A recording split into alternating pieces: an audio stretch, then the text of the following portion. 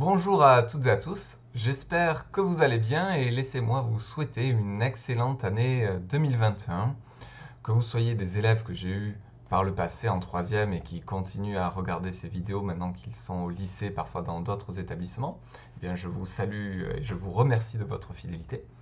Ou que vous soyez des élèves que je n'ai jamais vus irréel, euh, comme on dit, IRL, euh, mais que je salue aussi, parce que c'est toujours très flatteur voilà, de savoir que des élèves que l'on ne connaît pas suivent euh, comme ça vos cours euh, sur Internet. Ça me fait très plaisir et je vous remercie à vous aussi.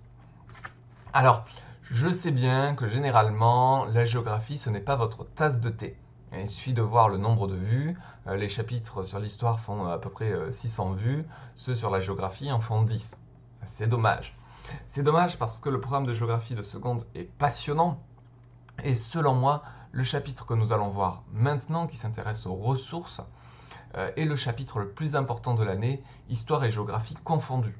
Pourquoi? Parce que nous allons parler de l'alimentation, nous allons parler de l'énergie, nous allons penser de la gestion de l'eau, nous allons parler des enjeux autour d'une région que l'on connaît mal et qui pourtant va de plus en plus faire l'actualité, c'est-à-dire l'Arctique, la région proche du pôle Nord. Donc on va voir énormément de choses, énormément de choses très actuelles qui vont vous permettre de décrypter l'actualité. Parce que les journalistes euh, l'expliquent pas ou l'expliquent mal, soit parce qu'ils euh, partent du principe que vous maîtrisez déjà ces notions, soit peut-être parce qu'eux-mêmes ne les maîtrisent pas très bien et du coup euh, ne prennent pas le temps de bien expliquer. Mais quand on parle d'exploitation offshore, quand on parle de pétrole ou gaz de schiste, quand on parle d'OGM, quand on parle du nucléaire, finalement de quoi parle-t-on? C'est ce que l'on va essayer de décrypter dans cette série de quatre cours parce que je vais essayer de vous faire des vidéos courtes, mais comme il y a beaucoup de choses à voir, euh, il y aura donc quatre éléments. D'abord, nourrir les hommes, ensuite l'enjeu énergétique, ensuite la gestion de l'eau, et puis l'Arctique. Alors normalement, dans les programmes, il nous faut traiter deux de ces trois aspects. Moi, comme je trouve que ces trois aspects sont liés, ben, j'ai choisi de traiter les trois. Et en plus, ça tombe bien si vous êtes élève avec un autre enseignant, parce que quels que soient du coup les éléments que lui aura choisi, que ce soit l'eau ou l'énergie, ou l'eau ou la nourriture, eh bien, vous aurez quand même les vidéos correspondant. Et si vous voulez creuser en voyant le troisième aspect, eh bien, euh, surtout, n'hésitez pas. Voilà, donc je vais essayer de euh, rendre ce chapitre le plus passionnant possible, faire le plus de liens possible avec l'actualité. Je précise, pour les secondes que moi j'ai en classe, que la dynamique vraiment de ce chapitre, c'est ensuite réaliser euh, un débat, un débat contradictoire entre des acteurs très différents comme EDF, Greenpeace, Total, etc. Et donc du coup, il va vous falloir maîtriser ces notions clés, il va vous falloir faire des recherches et euh, travailler sur l'oral et l'argumentation. Donc ça, c'est vraiment la dynamique de ce chapitre. C'est avoir des connaissances, mais pour ensuite les mettre au service d'une argumentation. Eh bien, allez, sans plus attendre, allons-y. Le titre, des ressources majeures sous pression, tensions et gestion. Alors, c'est déjà des ressources majeures, comme a des ressources plus importantes que d'autres. Hmm. Euh, majeur, c'est ce qui est important. Et bien, ce qui est important, c'est l'alimentation, l'énergie et l'eau. Sans ça, on ne peut pas faire tout le reste. Sous pression, pourquoi? Quand quelque chose est sous pression, c'est soit qu'il y a beaucoup de demandes, soit qu'il y a peu d'offres. Mais ça crée une pression. Euh, et on va voir que ben, parfois c'est le cas.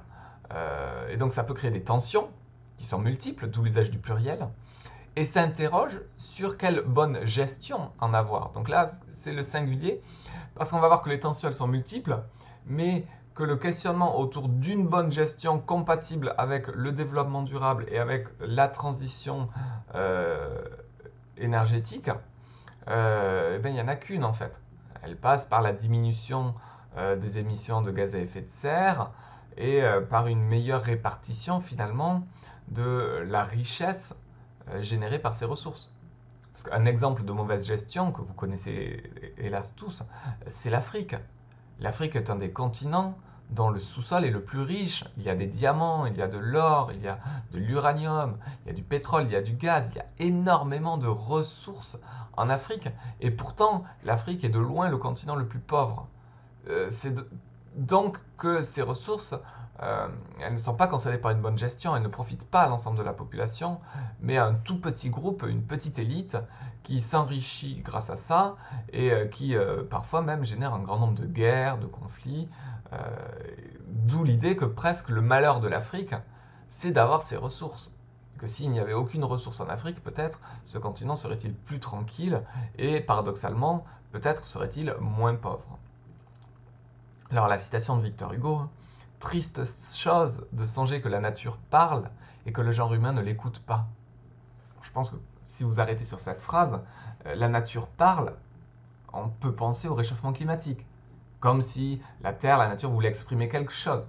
ce n'est qu'un phénomène finalement euh, biologique euh, qui n'est pas du tout lié à une intention de la nature. Mais nous, on peut l'entendre ainsi.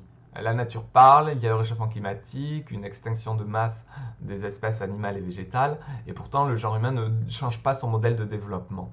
Alors, c'est complètement détourné, cette citation de son sens. Victor Hugo, c'est un homme du 19e siècle, le réchauffement climatique euh, n'a pas encore débuté, puisqu'il débute à l'heure industrielle, donc à peu près en même temps que Victor Hugo, mais euh, les conséquences ne se font pas encore voir. Et donc lui, quand il parle de la nature, il va parler de la montagne, de la campagne, du fait que l'homme, dans sa solitude, doit se ressourcer euh, auprès de, l'élément naturel pour y trouver son inspiration. En ce sens-là, Victor Hugo euh, est vraiment le symbole de ce courant littéraire qui est le romantisme, qui valorise la nature, une nature certes idéalisée, mais la nature quand même, et la solitude. Donc pour lui, il veut dire ça, mais nous, dans le contexte de géographie, euh, c'est comme si on faisait dire à Victor Hugo, finalement, il y a réchauffement climatique et euh, personne ne fait rien. Alors la problématique en lien avec cette citation, hein, pourquoi est-il nécessaire de gérer autrement les ressources terrestres? Et maintenant, nous allons finalement nous questionner sur euh, nourrir les hommes. Alors, nous l'avons vu précédemment, l'humanité a augmenté de façon exponentielle. Exponentielle, c'est-à-dire de façon extrêmement forte. il faut savoir, nous étions 1,6 milliard, 1,6 milliard en 1900, 7,5 milliards en 2017 et 7,7 milliards aujourd'hui. Euh, mais en gros, comme ordre de grandeur, en un siècle, en à peine un peu plus d'un siècle, la population humaine a été multipliée par 5. Et ça, ça devrait quand même encore se poursuivre à un rythme un petit peu plus calme, mais un petit peu seulement, parce qu'il est prévu que nous soyons 10 milliards en 2050. Donc 2 milliards et demi d'humains en plus euh, en l'espace de 30 ans. Donc retenez ces chiffres, 1,6 milliard 1900, 7,7 milliards 2020, probablement 10 milliards 2050. Donc la première question qui se pose, c'est comment nourrir cette population?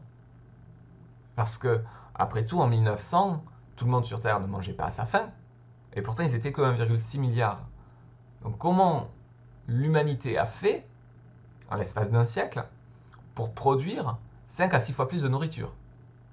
La question est simplement là. Si la population a augmenté par 5 et que le niveau de vie en plus s'est étendu, c'est que d'un point de vue alimentaire, il a fallu produire cette nourriture. Alors comment on peut faire? Ben, Je vous invite à réfléchir, à regarder cette carte. Déjà, on peut augmenter les surfaces agricoles, ce qu'on appelle le défrichement. Hein, on coupe des forêts, on coupe des éléments qui sont pas exploités, c'est ce qu'on appelle une friche. Une friche, c'est un territoire non exploité. Parfois, on parle même de friches industrielles quand ce sont d'anciennes industries qui ne sont pas réhabilitées et dans lesquelles on peut faire euh, de l'urbex. Euh, je précise que l'urbex euh, est illégal, mais néanmoins, ça peut avoir un grand intérêt historique. Et puis, ça peut être légal si vous demandez l'autorisation à ceux qui possèdent ces, ces usines. Bref, tout ça pour dire qu'une friche, c'est un territoire qui n'est pas exploité. Donc le défrichement, c'est rendre exploitable une terre. Donc effectivement, il y a eu du défrichement. Euh, on a créé de plus en plus de terres agricoles. Alors vous voyez que néanmoins ce défrichement aujourd'hui, euh, puisque là on a l'évolution des terres agricoles entre 2000 et 2011, il n'est plus à l'ordre du jour. Parce que si on regarde à l'échelle mondiale finalement l'évolution des surfaces agricoles, on voit qu'elle diminue. Entre 2000 et 2011, c'est 22 millions d'hectares qui ont euh, disparu. Donc ce n'est pas rien quand même. Euh, alors, on voit un contraste. Dans les pays du Nord, essentiellement, ça diminue. Parce que, vous l'avez vu l'année dernière en troisième, hein, il y a un phénomène d'étalement urbain. Les villes s'étendent de plus en plus en périphérie. Et qu'est-ce qu'il y avait avant en périphérie des villes? Eh ben, Des campagnes, des surfaces agricoles qui sont transformées en lotissements, en zones commerciales, etc. On parle d'artificialisation des terres. On, les rend artificielles. Euh, donc ça, c'est dans les, pays du Nord. Hein. On a une diminution des terres euh, agricoles de ce fait-là. Et dans les pays du Sud, il y a encore un défrichement en cours, on le voit notamment en Afrique, euh, et aussi en Indonésie et au Brésil. Et là, c'est beaucoup plus préoccupant parce que ce défrichement-là, il se fait par la déforestation. On détruit, on détruit les forêts tropicales, qui ont un grand intérêt sur le plan climatique, nous allons en parler, euh, sur le plan environnemental euh, au sens large aussi, parce que ce sont des forêts qui accueillent une grande biodiversité. et on voit que finalement, à l'échelle mondiale, cette déforestation, elle est, elle est considérable. Dans les pays du Sud, je précise. Donc certains pays émergents, Brésil, Argentine, Indonésie, et euh, dans les PMA. Alors, il y a donc le défrichement qui permet d'augmenter euh, les terres agricoles, qui a été très important au lendemain de la Seconde Guerre mondiale. Et il y a aussi un deuxième élément, qui est la révolution verte. Euh, alors qu'est-ce que la révolution verte? C'est l'idée d'augmenter le rendement des surfaces agricoles. Un rendement, c'est pour un hectare de terres agricoles, combien vous produisez de tonnes euh, de céréales. Eh bien, on a réussi à avoir des terres qui ont un rendement plus élevé. Et ça, c'est la révolution verte. Alors verte parce que ça touche au milieu agricole, pas parce que ça touche à l'écologie, parce qu'au contraire, on va voir que la révolution verte, elle est plutôt anti-écologique, parce qu'elle utilise énormément d'engrais, euh, de pesticides, enfin de produits chimiques de tout genre. Elle utilise aussi des surfaces, des semences euh, parfois génétiquement modifiées, ce qu'on appelle les OGM. Donc du coup, euh, cette révolution verte, elle est liée à un modèle agricole qu'on appelle une agriculture productiviste, dont le but est de produire le plus possible c'est avoir du rendement, euh, mais qui a eu quand même des conséquences euh, sur l'environnement et la santé parfois des agriculteurs. Alors là, on va voir par exemple en Inde comment ça s'est fait. Alors lisons le texte. Le succès de la Révolution verte provient en grande partie de la politique menée par l'État des années 1960 aux années 1990. Il subventionnait la production de semences sélectionnées et d'engrais pour qu'ils ne coûtent pas trop cher aux paysans. Il leur achetait les récoltes en leur garantissant des prix stables il facilitait l'accès au crédit pour les agriculteurs afin de leur permettre d'acquérir des motoculteurs et des pompes pour l'irrigation. Donc là, on a trois choses. Euh, on voit que l'État indien a une volonté de moderniser l'agriculture indienne. Pour cela, on choisit des semences à haut rendement et des engrais pour que la terre soit plus fertile, en mettant euh, de l'azote, enfin voilà, des engrais euh, produits par la chimie.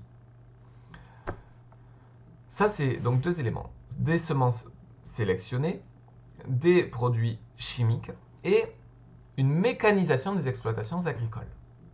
On utilise des motoculteurs, des tracteurs, des pompes pour irriguer. Donc un travail agricole qui est de moins en moins manuel, ce qui fait qu'une des conséquences aussi de la révolution verte, c'est la diminution du nombre d'agriculteurs.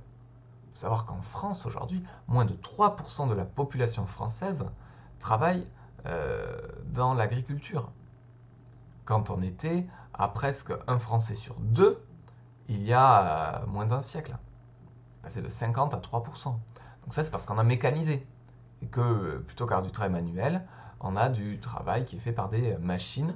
Et donc ça, c'est pas uniquement dans le milieu industriel, hein, ça a aussi lieu dans le milieu agricole. Et donc là, finalement, si on regarde cette définition-là de la révolution verte, on a la définition aussi de l'agriculture productiviste des semences à haut rendement, dont parfois des OGM quand c'est autorisé, parce qu'en France, on ne peut pas utiliser d'OGM euh, dans l'agriculture euh, destinée à la vente. C'est que des laboratoires qui peuvent euh, les utiliser, mais qui ne le vendent pas par ailleurs.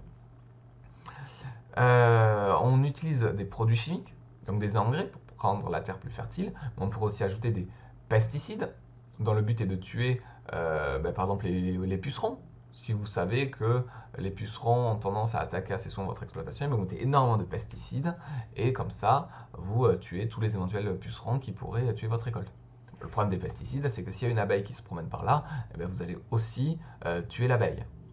Euh, comme elle joue un rôle assez indispensable dans les écosystèmes, ça pose un gros problème à long terme.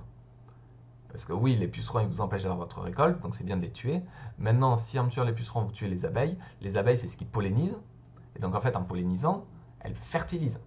C'est-à-dire que demain, vous n'avez plus une seule abeille, ou même parfois dans une moindre mesure les mouches, les bourdons, les guêpes qui pollinisent un petit peu. Mais l'abeille, c'est sa mission, elle passe toute sa vie à polliniser, c'est-à-dire elle va d'une fleur à une autre, donc potentiellement d'une fleur femelle à une fleur mâle. Et ça, c'est ce qui permet de faire la fécondation, et donc d'avoir le fruit. Pas d'abeille, pas de fruit. Ah, donc pas de cerises, pas de courgettes, euh, pas, de tout ce qui est, pas de tout ce qui est bon dans la vie en fait.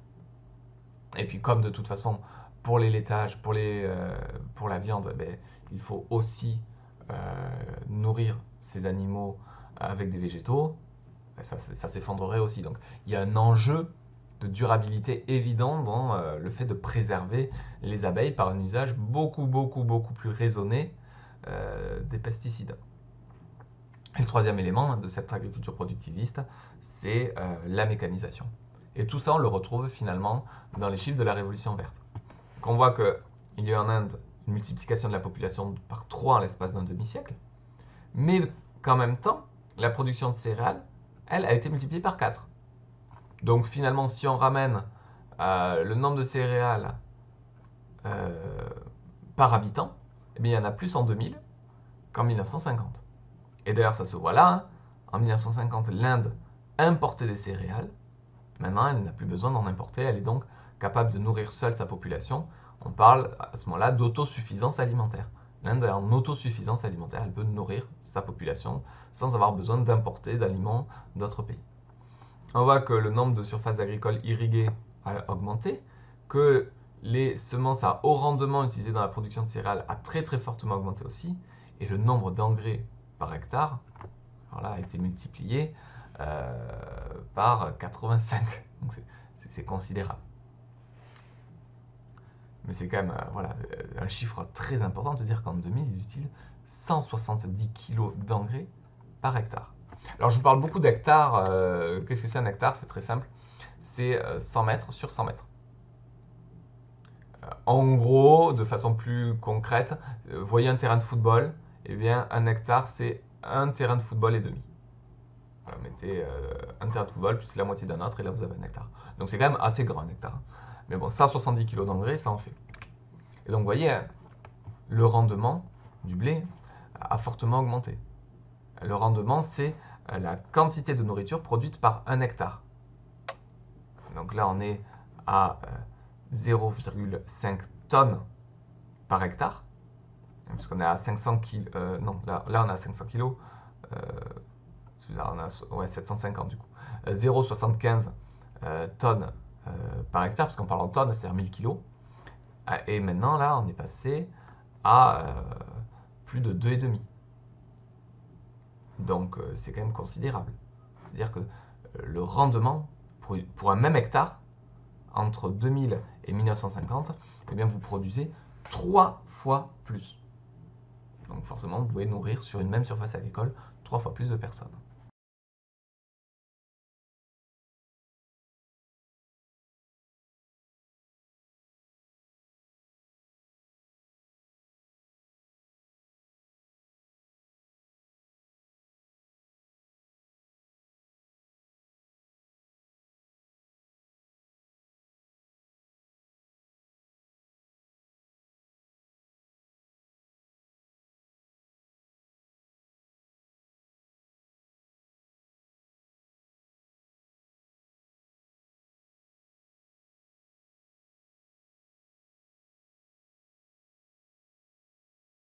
Alors maintenant que l'on a vu un petit peu comment euh, produire euh, la nourriture, voyons les enjeux autour de la consommation de cette nourriture. Parce qu'il y a, pour schématiser, deux principaux problèmes alimentaires. Le premier, c'est la sous-nutrition, c'est-à-dire la population qui est sous-alimentée, qui n'a pas assez d'alimentation.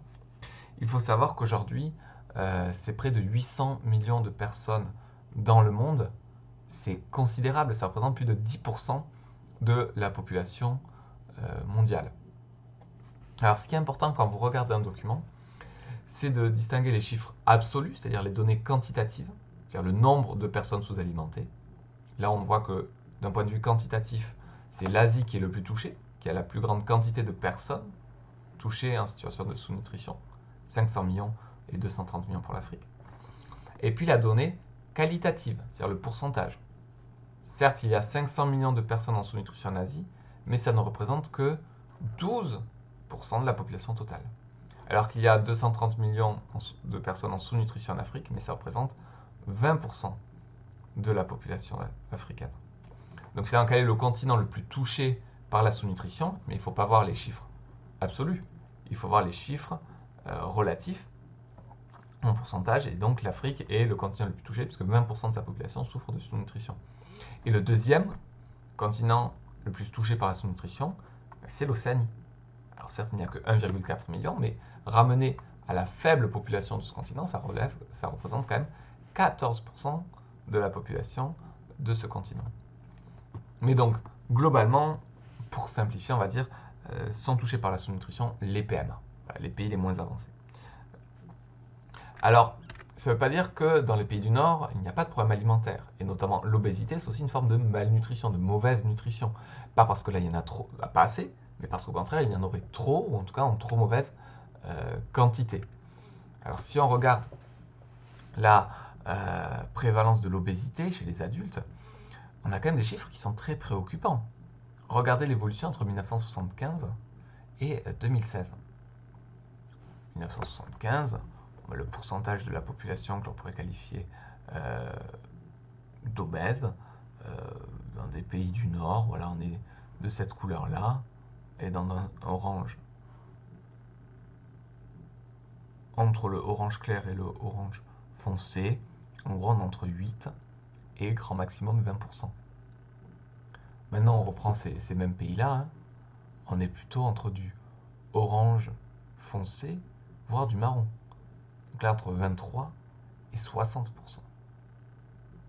Alors, on peut un peu critiquer quand même cette, euh, cette carte dans le sens où ils n'ont pas repris, ils ont repris les mêmes couleurs, mais entre-temps, ils ont changé les données dans l'échelle, ce qui est... Euh, ce qui n'est pas franchement très intelligent. Si vous voulez justement comparer deux cartes, mais eh dans l'échelle, vous reprenez exactement les mêmes données qui correspondent à la même couleur.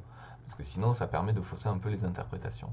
Mais bon, l'ordre de grandeur reste le même quand même. Plus les couleurs sont foncées, plus le pourcentage de personnes obèses est important. Et on voit hein, que finalement, cette obésité, euh, elle touche aujourd'hui euh, non seulement les pays développés, mais aussi les pays émergents. Et seuls les, euh, les PMA sont plutôt à l'abri de ça. Ce qui veut dire que paradoxalement, des pays peuvent être touchés par la sous-nutrition et en même temps par l'obésité. C'est par exemple le cas du Mexique. Mais parce qu'il faut bien comprendre le fonctionnement des pays émergents. Les pays émergents, c'est des pays où la classe moyenne et la classe aisée euh, s'est rapidement enrichie et a un mode de vie très proche de celui des pays développés, c'est-à-dire fast-food, soda, etc mais une part importante de la population euh, vit de l'agriculture vivrière, dans les campagnes, très pauvrement, voire dans des villes, mais de façon très pauvre, avec des, métiers informels, c'est-à-dire du travail euh, au noir, comme on dirait familièrement. Et donc du coup, finalement, au sein d'un même pays émergent, vous avez des gens très pauvres qui souffrent de sous-nutrition, et puis des gens quand même plutôt euh, aisés qui ont un mode de vie, on va dire, à l'occidental, fait d'une alimentation très grasse, très sucrée et de peu d'activité physique et qui du coup ont plus de chances d'être touchés par l'obésité. Donc euh, ça c'est quand même un enjeu euh, de société aussi parce que autant je vous ai dit qu'il y avait 800 millions d'individus en sous-nutrition dans le monde et il y a aujourd'hui quand même 2 milliards de personnes en surpoids ou obèses dans le monde. Ça fait plus d'une personne sur quatre. Euh, et certains pays, hein, comme le Mexique ou les États-Unis, ont plus de une personne sur trois qui souffrent d'obésité. Donc il y a un enjeu de santé derrière. C'est-à-dire que pour la première fois, là, on observe que dans des pays développés, l'espérance de vie à la naissance diminue. Alors que normalement, plus un pays se développe, plus son espérance de vie augmente. Mais là, eh bien, finalement, du fait notamment par exemple de l'obésité, eh les gens euh, développent tout un tas de complications euh, au niveau de leur santé et décèdent plus jeunes que leurs parents. Et donc, du coup, ben, l'espérance de vie a tendance à diminuer dans certains pays développés, notamment ceux qui sont fortement touchés par l'obésité. Donc là, vous avez euh, une carte que, bon, si vous voulez la, regarder en détail, euh, vous pouvez appuyer sur, euh, sur pause et la regarder. Mais bon, là, comme on est un petit peu pressé, nous, nous allons passer. Après, il y a l'enjeu de la consommation alimentaire. Qu'est-ce que l'on consomme? Alors, ce que nous montre ce document qui est assez intéressant, c'est que finalement, il y a un lien de corrélation entre la richesse des habitants d'un pays, donc le PIB par habitant, et leur consommation en viande. Parce que regardez, des pays qui ont un PIB par habitant important, donc qui sont situés là, sur la droite, au-dessus pardon, de 30 000 dollars euh, par an, eh bien, sont aussi situés au-dessus de cette barre des 60 kg par habitant par an. Alors il y a quelques exceptions. Vous voyez que le Brésil, l'Argentine ont une forte consommation de viande alors que le PIB par habitant est plutôt faible. Ça, ça s'explique parce que ce sont des pays exportateurs de viande. Hein, il y a là-bas ce qu'on appelle de l'élevage intensif avec euh, énormément, énormément de, bovins notamment. Euh, donc euh, ils en consomment énormément. Alors même que leur niveau de développement n'est pas très avancé. Et au contraire, vous voyez que le Japon a un niveau de développement très avancé, mais en termes de consommation de viande, c'est plutôt faible. Ça, ça s'explique par des raisons culturelles. Le Japon est une île et mange quand même plutôt essentiellement euh, du, poisson. Euh, laissez-moi vous parler de sushi. J'ai une folle envie de sushi. Hmm. Bon, bref. Mais sinon, vous voyez, Indonésie, Thaïlande, Arabie Saoudite, France, États-Unis, ben, c'est le long de cette courbe. C'est-à-dire, plus ils s'enrichissent, ben, plus la quantité de viande consommée augmente. Donc ça, ça va poser un problème, parce que tous les pays qui sont là, normalement, devraient s'enrichir, et on les retrouvera d'ici 15-20 euh, ans plutôt ici. Et donc on risque aussi, en termes de consommation de viande, de les retrouver là. Alors, en quoi ça peut être problématique, cette consommation de viande? Euh, Eh bien, c'est problématique euh, notamment pour la consommation en eau. Regardez, pour faire 1 kg de viande de bœuf, il faut 15 500 litres. Pourquoi? C'est pas euh, votre, euh, vache qui va boire tout ça, hein.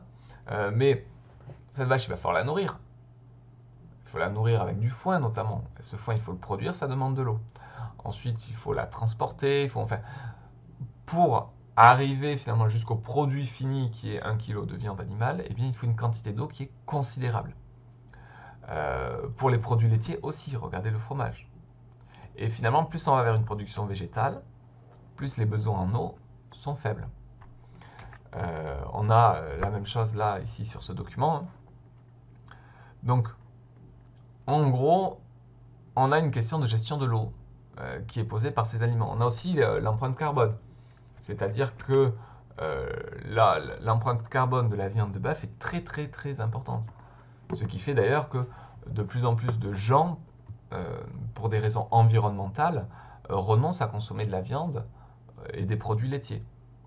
Alors, il y a aussi la question du bien-être animal, il y, a, beaucoup de, Il une question de santé personnelle aussi, mais il y a une question environnementale. C'est-à-dire qu'il y a un coût pour l'environnement quand même assez important dans la consommation de viande ou de, produits laitiers. Alors, justement, euh, si euh, cette hausse de la consommation de viande ou de laitage qui va probablement se faire dans les pays émergents, va augmenter les émissions de gaz à effet de serre, alors on pourrait imaginer peut-être que euh, le développement des biocarburants serait une solution. Alors qu'est-ce qu'un biocarburant? Eh bien c'est parfois on parle d'agrocarburant justement pour éviter euh, une confusion avec l'idée que bio c'est biologique parce qu'en fait ça n'a rien du tout de biologique. généralement les biocarburants ou les agrocarburants c'est du maïs, du soja obtenu de façon intensive, dans l'agriculture intensive, hein, donc euh, à grand renfort de pesticides, d'herbicides, de semences euh, OGM.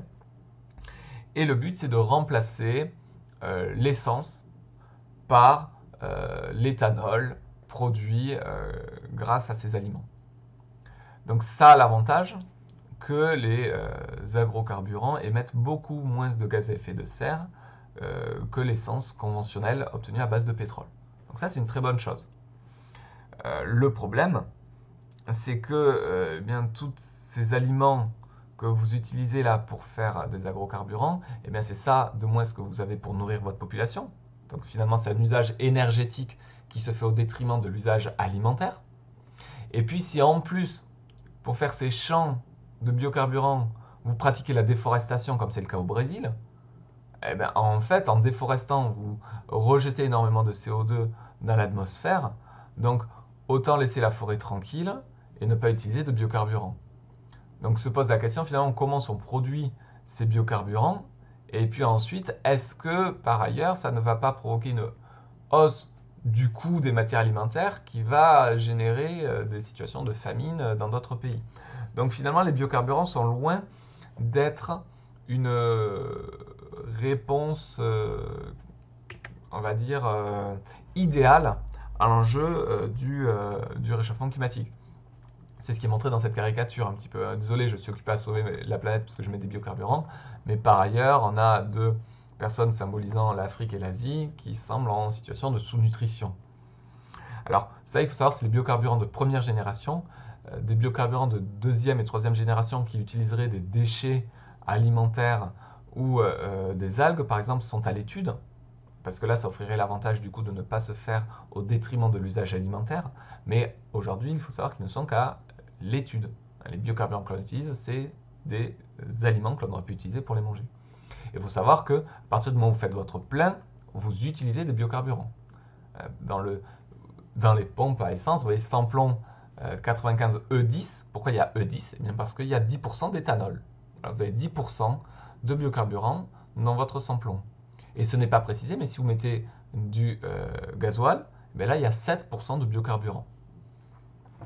Donc voilà, les biocarburants, ne caricaturons pas, ce n'est pas la solution idéale, mais ce n'est pas non plus euh, quelque chose forcément de uniquement négatif, parce que ça permet quand même de diminuer euh, substantiellement les émissions de gaz à effet de serre. Hein. Vous imaginez 7 à 10% euh, de l'essence finalement consommée en France dans les automobiles sont issus de biocarburants et donc n'émettent quasiment pas de gaz à effet de serre. Donc ça a quand même un, avantage assez, assez conséquent.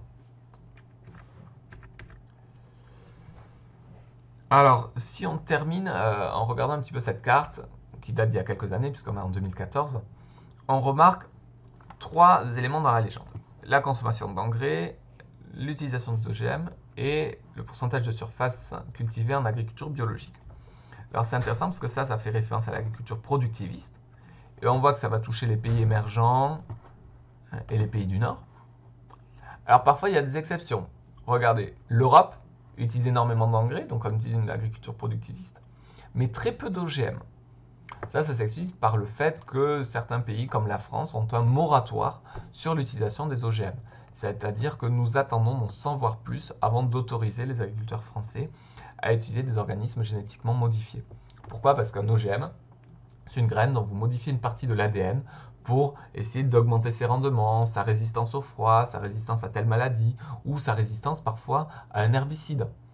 C'est-à-dire que Monsanto, euh, un grand créateur d'OGM aux États-Unis, vendait en même temps euh, les OGM résistants au Roundup et en même temps l'herbicide, le Roundup. C'est-à-dire que vous mettiez votre champ OGM et s'il y avait des herbes, vous mettiez votre Roundup, ça tuait tout, tout, tout, tout, tout, sauf justement ce que vous aviez planté qui avait été pensé pour résister à cet herbicide.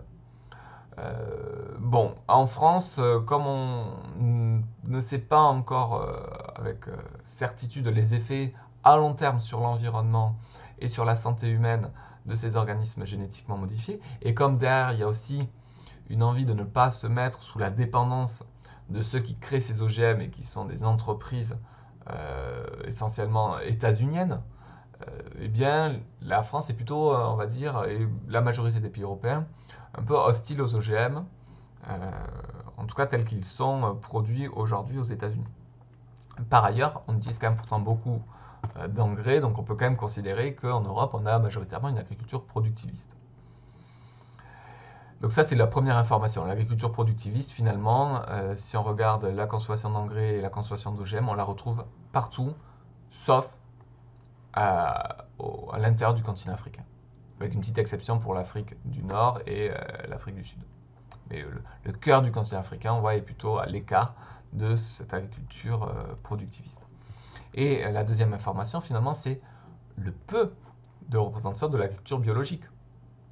On en entend beaucoup parler, dans tous les supermarchés, vous voyez un rayon consacré à l'agriculture biologique, en fait, ça représente un tout petit pourcentage des surfaces cultivées dans le monde. Alors, ça a un petit peu évolué depuis. Hein. Aujourd'hui, on estime qu'on euh, a à peu près 10% des parcelles agricoles qui sont en agriculture biologique dans le monde, mais ça reste quand même quelque chose de très euh, minoritaire. Donc si on résume finalement ces trois types d'agriculture, on a une agriculture productiviste que l'on retrouve dans les pays développés émergents, une agriculture vivrière, c'est-à-dire où le paysan produit ce qu'ensuite il va manger. Donc ça, on la retrouve dans les pays émergents et les PMA.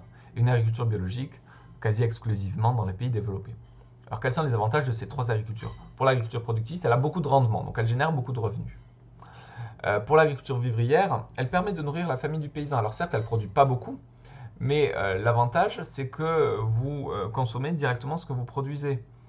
Parce que, par exemple, un certain nombre d'agriculteurs en Afrique ont remarqué qu'ils se feraient beaucoup plus d'argent s'ils produisaient du coton plutôt que de continuer leur agriculture vivrière. Donc ils se sont mis du jour au lendemain à faire des monocultures de coton. Une monoculture, c'est quand vous ne produisez qu'une seule chose. Le problème, c'est que si le cours du coton s'effondre, parce qu'au moment où vous semez votre coton, vous ne savez pas le prix auquel vous allez le vendre 9 mois plus tard. Eh bien, si le prix du coton s'effondre, vous ne pouvez rien en faire. Vous allez quand même devoir le vendre, même pour pas cher, parce que de toute façon, vous ne pouvez pas le manger.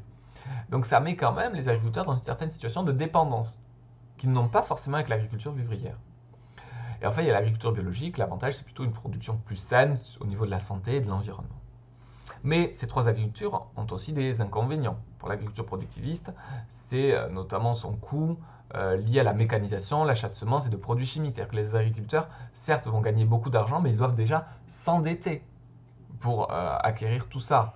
Et donc, du coup, s'il y a une catastrophe climatique qui survient, une sécheresse, une inondation, et qu'en plus ils ont des emprunts à payer, ils peuvent se retrouver surendettés dans des situations très difficiles. Pour l'agriculture vivrière, l'inconvénient, c'est qu'elle ne génère pas de revenus, puisque l'agriculteur mange ce qu'il produit. Et donc finalement, euh, on n'est pas capable, euh, ne possède pas d'argent pour acheter des vêtements, pour payer les frais de scolarité, les frais de santé. Euh, eh bien, ils n'ont pas de revenus et c'est quand même gênant. Et le problème de l'agriculture biologique, c'est que le rendement est quand même plus faible que pour l'agriculture productiviste. et qu'en plus, eh bien, si on n'utilise pas ou peu d'herbicides, eh il va falloir par exemple désherber à la main. Donc il y a un besoin de main-d'œuvre plus important. Alors, ça pourrait être quelque chose de positif si dans les pays développés, il y avait une part de la population importante qui souhaitait faire ce métier d'agriculteur. Mais quand on voit aujourd'hui finalement les difficultés pour les agriculteurs à trouver de la main-d'œuvre en France, eh on peut se dire que le développement de l'agriculture biologique, si on le généralisait, faudrait quand même arriver à, rendre ce métier-là plus attractif dans la population, pour que plus de gens acceptent de le faire. Donc pour résumer tout ce que nous avons vu aujourd'hui sur l'enjeu alimentaire, eh bien on a une agriculture productiviste qui est majoritaire au niveau mondial. Euh, d'autres modèles agricoles existent, comme l'agriculture vivrière ou l'agriculture biologique.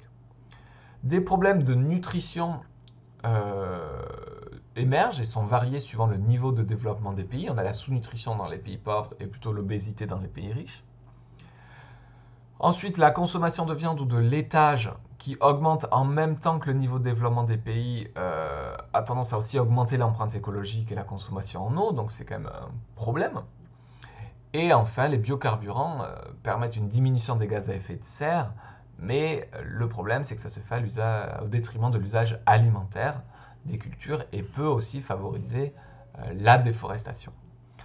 Sur ce, j'espère que ce cours vous aura appris des choses et euh, pour la prochaine fois, nous étudierons l'enjeu de l'énergie. Donc nous parlerons énergie fossile, charbon, gaz, pétrole, mais aussi les énergies renouvelables et tous ces enjeux autour, hein, parce que là aussi, hein, vous allez voir qu'il y a beaucoup d'enjeux et pas forcément une seule solution idéale que l'on pourrait généraliser à l'ensemble du monde. Sur ce, prenez soin de vous, cultivez-vous bien. Euh, travailler, travailler, parce que c'est ce qui vous permettra d'être des citoyennes et des citoyens engagés qui ne se font pas manipuler. Euh, et ça, nous allons en avoir besoin pour avoir une démocratie qui fonctionne correctement. Allez, à bientôt et bon courage.